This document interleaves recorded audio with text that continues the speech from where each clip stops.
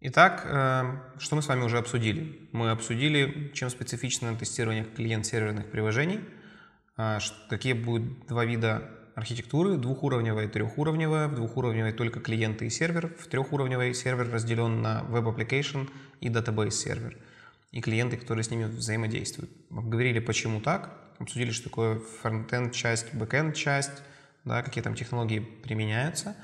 Поговорили с вами про то, что такое протокол, какие виды протоколов у нас чаще всего встречаются в нашей жизни, какие они бывают, чем они специфичны, как работает HTTPS, чем он обеспечивает защищенность передачи данных – Обсудили, что такое request, что такое response, какие в HTTP структура реквеста, что он состоит из стартовой строки, которая включает в себя метод URI и версию протокола, то есть что мы хотим сделать, с каким ресурсом и согласно какого протокола.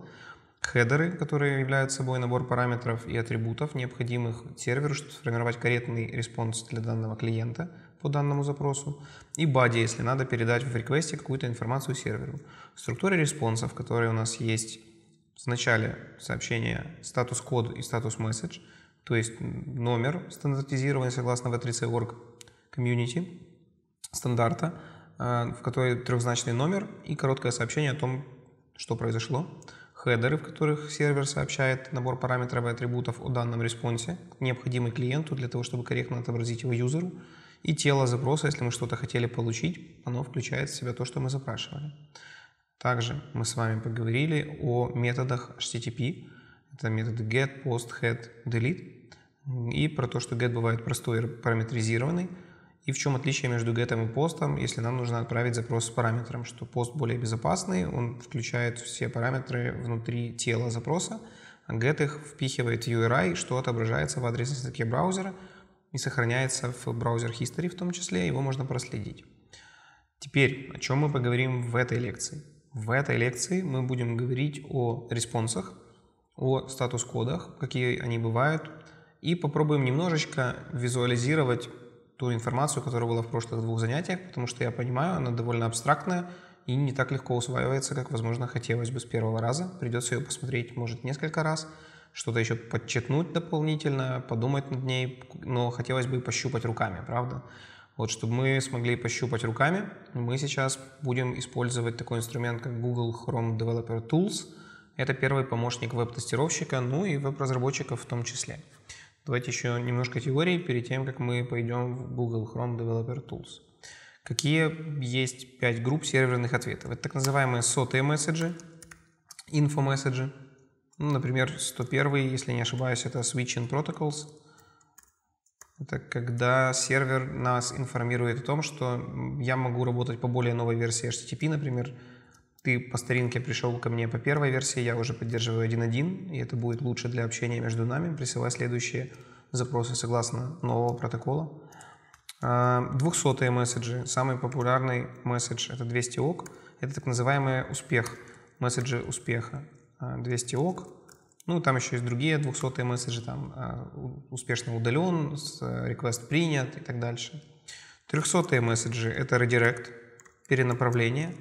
А в каких случаях мы сталкиваемся с вами с перенаправлением? Например, вы заходите на сайт, я не знаю, там mycompany.com, а у вас открывается сайт mycompany.com.ua, и он открыт на украинском языке, потому что у них есть региональный поддомен, на котором сайт адаптирован под ваш регион – или, например, вы заходите на какой-нибудь сайт интернетмагазин.ком, а у вас открывается другой сайт, написано «Извините, интернет-магазин.ком более недоступен, мы переехали на суперинтернетмагазин.ком».